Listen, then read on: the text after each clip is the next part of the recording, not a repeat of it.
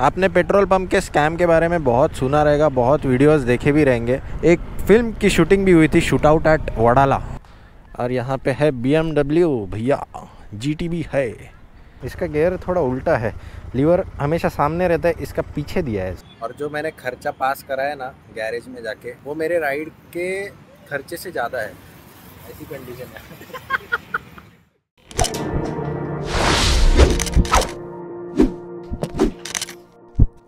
Hello everyone welcome back to my YouTube channel ATG blogs आप सभी का मेरे इस नए वीडियो में दिल से स्वागत है। सो so, आज एक शॉर्ट स्पिन के लिए जा रहा हूँ मैं क्योंकि बहुत दिनों से मैंने ब्लॉग नहीं बनाया था। संडे है संडे राइड्स टोटली बंद हो गई है मेरी। इसके लिए फिर मैं अभी शाम को बाहर निकल रहा हूँ। हर जगह पे अभी कंस्ट्रक्शन पॉल्यूशन ये सब चल रहा है तो प्रॉपर जगह ही नहीं है भाई मुंबई में चिल करने के लिए। इसके लिए फिर मैं मेरी बाइक निकालता हूँ कभी कभी और एक राउंड आसपास जाके आता हूँ। सेम अभी करने वाला हूँ निकलता हूँ मैं। बाकी की कहानी अपने हेलमेट सेटअप में काहे हॉर्न बजा रहे हैं भाई?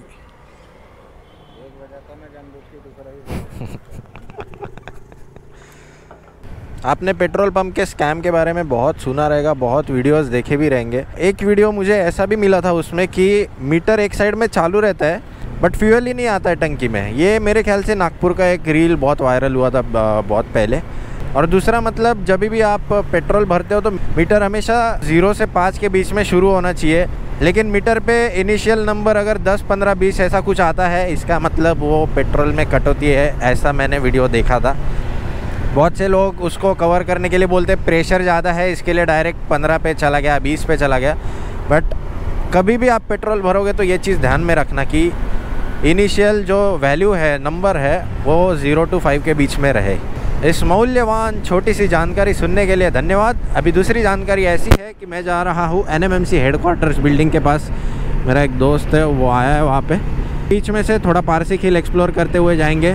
जिन लोगों को नहीं मालूम पारसी खील एक नवी मुंबई में अच्छी और शांत जगह है।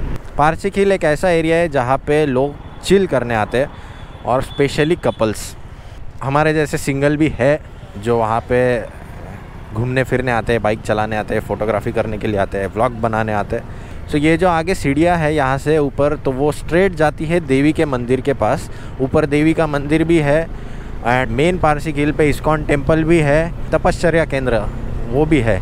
मेरे लेफ़्ट साइड में देवी का मंदिर जो मैंने सीढ़ियाँ आपको दिखाई थी, वो यहाँ पे आते हैं और यहाँ पे एक फ़िल्म की शूटिंग भी हुई थी शूट आउट एट वडाला जो आपने ट्रेन का सीन देखा रहेगा, नीचे से ट्रेन जा रही है। सो वही स्पॉट से उन्होंने शूट किया था। बहुत से लोग उस पॉइंट पे भी रुकते हैं सनसेट के लिए, क्योंकि सनसेट वहाँ से काफ़ी अच्छा दिखता है। और मेरे राइट साइड में है ISKCON temple okay Shri Shri Radha Giridhar Mandir okay अभी बंद हो गया है। नौ बजे मेरे ख्याल से बंद होता है वो। और जिन लोगों ने घर बना के रखे हैं ना इधर they are very much blessed कह सकते हैं, क्योंकि बहुत शांत जगह है, बहुत पीसफुल जगह है। कोई पॉल्यूशन नहीं, कोई आवाज़ नहीं, एकदम शांति में ये लोग रहते हैं। यहाँ पे अभी चार पाँच कैफ़े भी है। You can also chill out here अभी मुंबई में ठंडी बढ़ गई है, इसके लिए फिर यहाँ पे ज़्यादा महसूस होती है। और ये भी एक स्पॉट है जहाँ पे आप रुक के सनसेट देख सकते हो। और यहाँ पे है अपनी दोस्त लोग, बहुत देरी से मैं आया हूँ आई गेस और यहाँ पे है BMW भैया GT भी है। सो कुणाल पाटिल भाई, कैसे हो? कैसे हो? बस बढ़िया। अगर डायरेक्ट चालवायलाच देतो है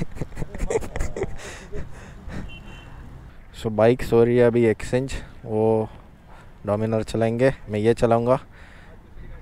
आज दूसरी गाड़ी भी है जीटी नवीन घेतली काही अच्छा। क्या हो गया बाबा, इसका चाबी? हाँ। बहुत दिनों के बाद ये चला रहा हूँ। लास्ट टाइम जो मैंने रील डाली थी बीएमडब्ल्यू पे तो वो रील इसी पे शूट की थी इंस्टा 360 पे। फिर से मौका मिला है जीटी एक बार ट्राई करनी है। मैंने ज़िंदगी में जीटी सिर्फ़ एक ही बार ट्राई की थी और वो भी इसी रोड पे ट्राई की थी। इसके लिए फिर वो भी ट्राई करूँगा मैं आते वक्त। एंड जीटी का मुझे एक अच्छा लगता है कि भाई ये बाइक बहुत साइलेंट है। मतलब रॉयल इनफील्ड की आपने जितनी भी बाइक्स देखी रहेगी ना, काफ़ी साइलेंट बाइक लगती है। कॉन्टीनेंटल जी एंड दूसरी इंटरसेप्टर चलो, थोड़ा टेस्ट करते हैं इसको।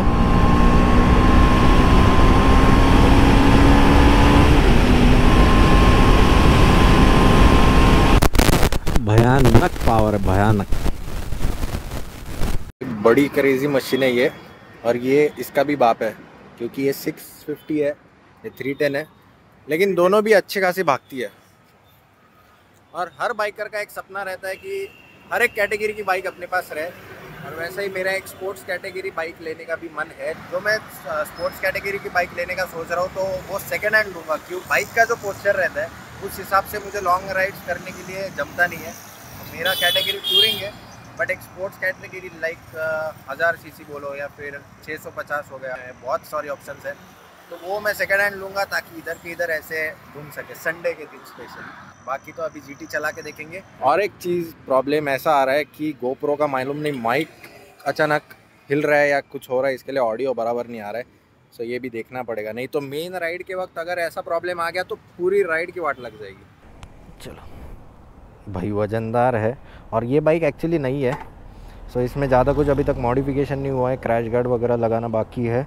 एंड मेन चीज़ एक बात मुझे अच्छी लगती है कि वो साइलेंसर स्टॉक है मतलब ज़्यादा आवाज़ नहीं करती। इसको स्टार्ट कहाँ से करे भाई? Sorry I am extremely sorry for this हो हो हो हो हो इसका गेयर थोड़ा उल्टा है। लीवर हमेशा सामने रहता है इसका पीछे दिया है। पहले थोड़ा आराम से चलाऊँगा मैं क्योंकि फ़र्स्ट टाइम चला रहा हूँ। ओ हो हो, इंजन क्या स्मूथ है भाई इसका ये। बहुत बढ़िया, बहुत स्मूथ है। डोमिनार के लिए दे दो एक साढ़े छः सौ का इंजन। फ़र्स्ट पे देखते हैं कितना भागती है। थ्री टू वन दो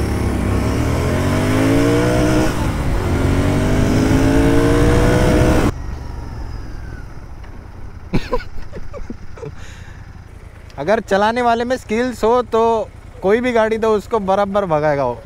जो मेरे में नहीं है फ़िलहाल में इसके लिए मैं पीछे रह गया। सर राइड का कुछ प्लान कुछ है? Not yet not yet but not decided but mostly हाँ या ना कुछ तो बता दो। दिल के समाधान के कंफर्म 90% इज़ यस देखते हैं अगर ऑफ़िस ऑफ़िस की वजह से। ऑफ़िस की वजह से अगर नहीं जमता है तो नहीं आएँगे अगर छुट्टी मिल गई तो आ जाएँगे। और मैं ऐसे जगह पे जा रहा हूँ जहाँ पे कह सकते हैं कि बारह ज्योतिर्लिंग में से वो एक ज्योतिर्लिंग है। तो अभी आप गेस करो नेक्स्ट मंथ में राइड है उसके पहले बाइक का काम करना है और उसके बाद फिर जाना है। राइड के लिए खर्चे बहुत लगते हैं और जो मैंने खर्चा पास कराया ना गैरेज में जाके वो मेरे राइड के खर्चे से ज़्यादा है। ऐसी कंडीशन है। तो है अगर बड़ी बाइक लोगे तो ये है उसमें भी अपनी डोमिनार है इसके लिए थोड़ा सस्ते में निपट जाता है, नहीं तो फिर तो भाई वाट लग जाती रही। जितने भी मैंने वीडियोस बनाए हैं इसके पहले like Mumbai to Amravati, Mumbai to Pune तो उसमें लोगों ने फिर भी पूछा है कि भाई रूट के बारे में बताओ, या फिर सी एन जी पम्प कहाँ पर है वो बताओ। ऑल द वीडियो में मैंने सब इंक्लूड किया है बट अगर कोई पूछता है तो उनको मैं रिप्लाई दे रहा हूँ। तो आने वाले राइड में मैं यही देखने वाला हूँ कि जितना ज़्यादा डीप में इंफॉर्मेशन आपको दे सकूँ, मैं देने वाला हूँ। रूट के बारे में स्टे के बारे में, पूरी आइटेनरी मेरी जो भी रहेगी, मैं आपके साथ शेयर करने वाला हूँ। ऑलमोस्ट दस बारह दिन की टोटल राइड है। तो बीच में कितने व्लॉग बनते हैं? मोस्टली मैं 10 से 12 व्लॉग जो भी है प्रॉपर तरीके से बनाने का सोचने वाला हूँ। अगर बन गए तो मेरे लिए अचीवमेंट है, आपको देखने मिल जाएँगी नई नई जगह। अगर आपने देखी नहीं होंगी तो। और यस इसी के साथ ये वीडियो को यहीं पे एंड करता हूँ। अगर ये शॉर्ट एंड सिंपल वीडियो अच्छा लगा रहेगा तो लाइक कीजिए, नए हो तो सब्सक्राइब कीजिए। और अगर कुछ सवाल रहेंगे कमेंट सेक्शन दिया है, आपके लिए ही बनाया गया है कमेंट सेक्शन कमेंट करके पूछिए, बताइए कुछ अगर आपको टिप्स देने हैं इन्फॉर्मेशन शेयर करनी है please do share that and मिलता हूँ आपको नेक्स्ट वीडियो में। Till then be positive and keep going